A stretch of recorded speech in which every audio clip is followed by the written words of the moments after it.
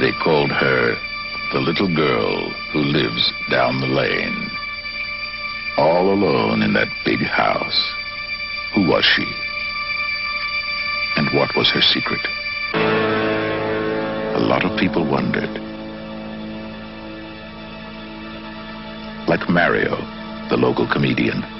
Somebody's out there. Officer Miglioriti, the local cop. I don't believe what you've been telling me about your father. You're a very pretty girl, you know that? Pretty eyes. Frank Hallet, the local creep. And nasty Mrs. Hallet, the local gossip. Mrs. Hallet, I'm warning you! I want to know what's been happening here in this house. I want to know what happened here today. I think I should warn you that the police are watching our house right this very minute, Mr. Hallet. Aren't you scared Of what? of being alone? No one to know about us. I never knew how much I needed you.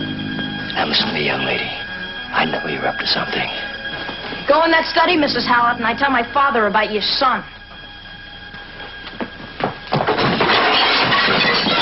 I even had to ask him why the police don't do anything about it. Why should they do anything? When your son gives candy to pretty little girls.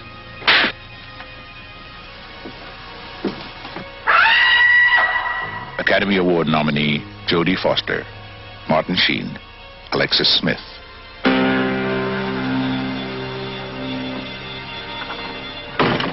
Get out of here!